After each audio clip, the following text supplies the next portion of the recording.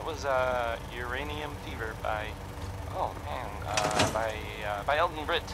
yes, right, said so, right there.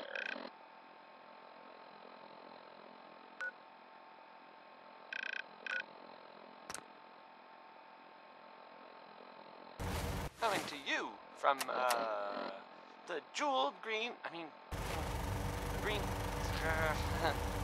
I mean, the, uh, the great green jewel of the Commonwealth. It's Diamond City Radio. Here's Uranium Rock, a song about people getting rich by finding uranium. that, worked out real well for all of us, didn't it? I'm joking, just joking. It went poorly.